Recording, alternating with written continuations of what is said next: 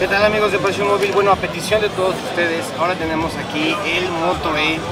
Aquí estamos en el boot de, Lenovo, en la sección de Motorola, donde tenemos aquí en nuestras manos el nuevo Moto E eh, de nueva generación. Obviamente pues ya trae el Lollipop. Y tenemos aquí que viene con una funda, la verdad muy muy bien lograda, que le da un aspecto es un poquito robusto, pero que lo protege muy bien de todas las esquinas.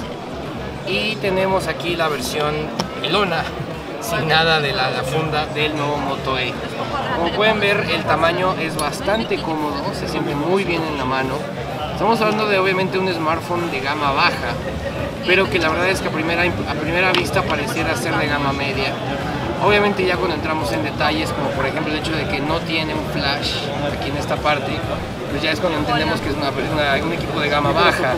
Si bien en general pues la respuesta es impecable, el smartphone la verdad luce muy muy bien y eh, la interfaz pues obviamente está totalmente limpia y lista para que lo personalicemos lo más que podamos.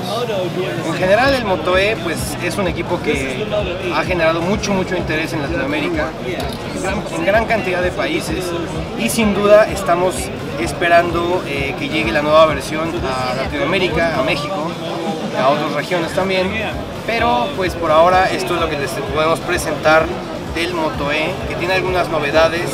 Eh, está disponible en versión LTE, en versión 3G eh, también. Tiene un procesador Qualcomm Snapdragon de 4 núcleos a 1.2 GHz, una batería de 2390 mAh y una pantalla de 4.5 pulgadas con eh, resolución de densidad de píxeles de 245 ppi. esperen pronto un análisis completo de este dispositivo en los próximos meses. Esto es Pasión Móvil.